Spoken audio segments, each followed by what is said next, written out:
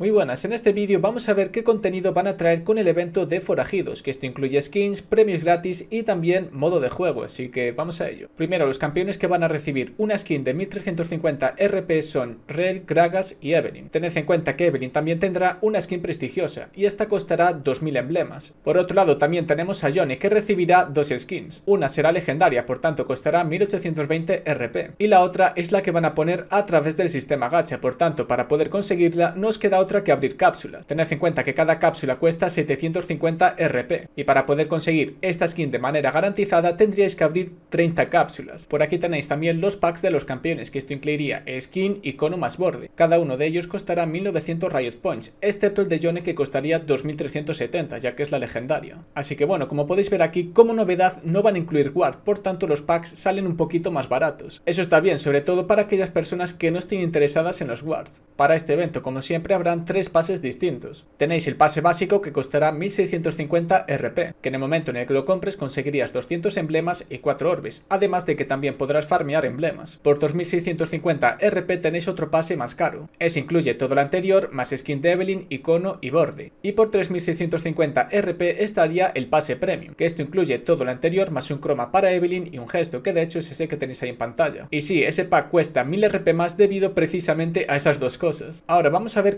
contenido que van a añadir en la tienda del evento. Por un lado tenemos por aquí icono más borde para estos campeones, tened en cuenta que cada uno de ellos costará 250 emblemas. Por 300 emblemas tendréis icono más croma. Comentaros también que van a traer por tiempo limitado los cromas de la temática de forajidos de años anteriores. De hecho son estos 13 que tenéis aquí en pantalla, incluyendo también las legendarias de Ashe y Leona. Icono más croma de cada uno de estos campeones costará 300 emblemas. Por cierto, ya está confirmado que para este evento Riot no va a traer ni el guard de forajidos ni tampoco el gesto de Ashe ni Darius. Ahora vamos a ver qué premios gratis vamos a poder conseguir, compres el pase de evento o no. Por aquí tenemos un orbe, 300 emblemas que tened en cuenta que los podemos utilizar para conseguir otro orbe, una llave, un icono, una cápsula de Eterno Serie 1 que por cierto la podéis utilizar para conseguir esencia naranjas y también un guard permanente aleatorio. Aquí como podéis ver lo que han hecho es quitarnos un gesto y en su lugar darnos un guard aleatorio. La verdad es que bueno, esto le puede gustar más a algunas personas o menos. Ahora bien, comentaros que este evento comenzará el día 20 de marzo y tendréis hasta el día 23 de abril para poder farmear emblemas en caso de que te compres el pase. Eso sí, la tienda del evento la tendréis disponible hasta el día 29 de abril para de esta forma gastar vuestros emblemas. Modo de juego que van a traer para ese evento es precisamente el uno para todos, que de hecho ya lo tenéis disponible en el PB por si alguien quiere jugarlo, que ya sabéis que es donde todo el equipo utiliza al mismo campeón. Aquí tenéis el horario en el que comenzará el modo de juego, como veis en Europa, Rusia y Turquía comenzará un poquito antes. Por cierto, tened en cuenta que el modo arena está confirmado que también llegará a League of Legends en alguna fecha de este año. Además de que por lo que comentan aquí tendrá cambios bastante importantes. Y bueno, parece ser que aquí el trabajador de Riot quiere que este modo de juego se quede entre 6 y 8 semanas. Que acordaros que una de las novedades que van a traer será de 8 equipos de 2 jugadores. Puede ser que el modo arena vuelva al servidor oficial de League of Legends en mayo o junio. Pero bueno, para este evento de forajidos nos tendremos que conformar con el uno para todos.